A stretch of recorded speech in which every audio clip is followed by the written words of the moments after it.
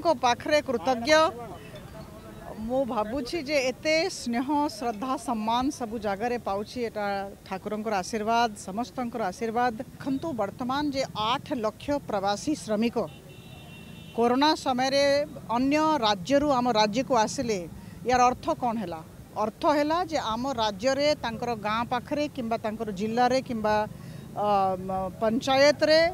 रोजगार पाइले ना से बाहर को गले आम राज्य जदि मत गोटे कथा पचारे कौन जिनस दरकार मुझे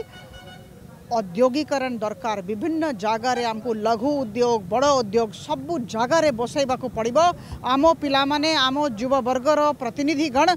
आमर राज्य समस्ते चाकरी पातु यहाँ ही आम समस्त दाबी एटा होगा कथा